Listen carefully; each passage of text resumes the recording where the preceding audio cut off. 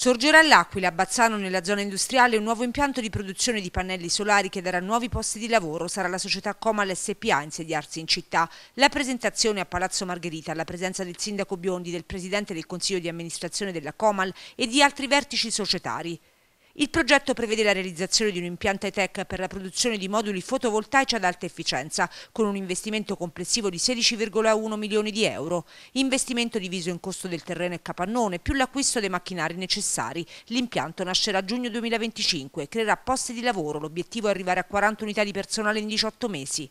La sete dell'Aquila perché noi siamo un gruppo molto affiatato e alcune persone del gruppo si sono interessate a questa zona e difatti uno dei soci più importanti in Comal è proprio di questa zona e quindi si è interessato, ha trovato questo sito che abbiamo ritenuto importante e determinante anche per fare questo tipo di investimento, che è un investimento, come diceva lei, corposo, importante e quindi proiettato sul futuro.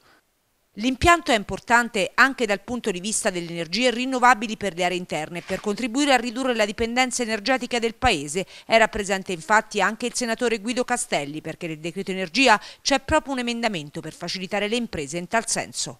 Sì, noi abbiamo un obiettivo, quello di unire la ricostruzione e la riparazione sociale ed economica. Per farlo pensiamo ad un Appennino centrale che sia anche anticipatore di tante misure e la transizione eh, ambientale è fra i primi obiettivi che vogliamo agganciare. Da questo punto di vista con Next Appennino il programma di finanziamento alimentato dal fondo complementare al PNR e Sisma abbiamo voluto proprio centrare la fondamentale rilevanza della impresa, in particolare delle imprese che innovano. Ecco perché questo progetto per noi è fondamentale. Oggi salutiamo un investimento ampio, importante, cospicuo, ma ci sono decine e decine di eh, aziende, di singoli che si sono messi in gioco e hanno deciso di scommettere sul territorio delle aree interne, sul territorio del centro Italia. Ne daremo notizia in maniera più diffusa più avanti, ma è sicuramente un ottimo segnale che fa il paio con eh, gli indicatori macroeconomici del, eh, su, sulla buona salute dell'occupazione dell'economia italiana